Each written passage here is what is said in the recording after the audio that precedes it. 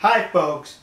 You know, in these here United States of America, they're making the news predominantly has to do with the issue of President Barack Obama exercising executive privilege to protect his Attorney General Eric Holder from releasing documents to the Congress investigating the Fast and Furious uh, project that was undertaken by the Justice Department.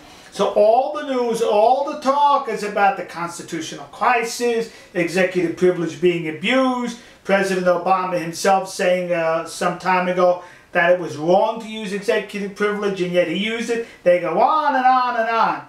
But you know what we're forgetting in this story, folks? People died.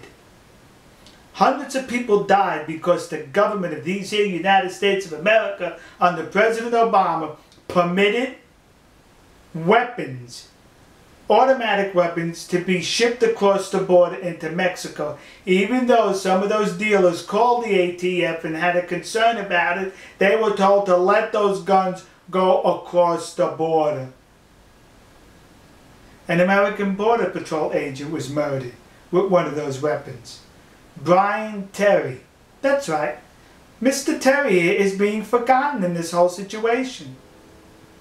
He was a Border Patrol agent murdered by one of those weapons.